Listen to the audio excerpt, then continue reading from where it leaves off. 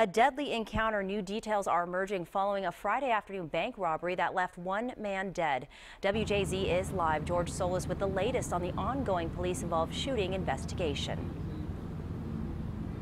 Tracy Baltimore County Police revealing the identity of the driver that was shot at by police. His name is Otis Colvin. As far as the other suspect goes, police say more details are coming soon.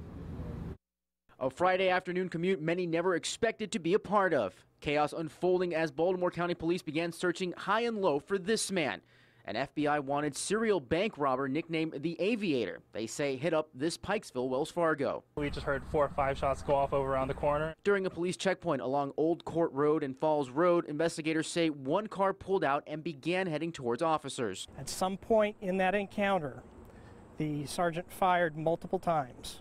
I don't know exactly how many times he fired multiple times. Police now saying the driver is 33 year old Otis Colvin, who died following the shooting. The result of Mr. Colvin's death was a bank robbery investigation. They say he was driving the aviator suspect who has also been charged with the bank robbery. Police say more charges could follow. Now, police say no weapon was found in the car, but they did find some items from the bank and some cash. Reporting live tonight, George Solis, WJZ Eyewitness News. All right, thank you, George. The police officer who fired the shots has been placed on routine administrative leave.